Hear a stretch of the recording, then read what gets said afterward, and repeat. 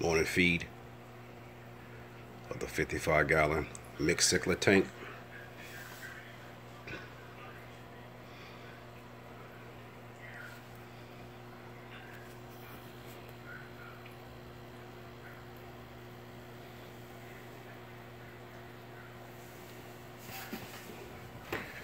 Man, that Venustus getting big, man.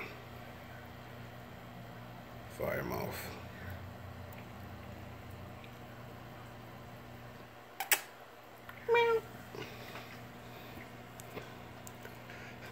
I want to show you all a new addition to the fam. It's a pain in the ass right here. Hey, hey, if you touch my fish, I'll kill you. Hey, hey, a cat. A cat. Anyway, that's the new addition. It's pain in the ass.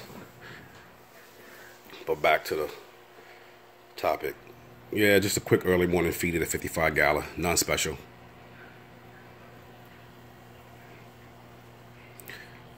Rod, Cichlid City.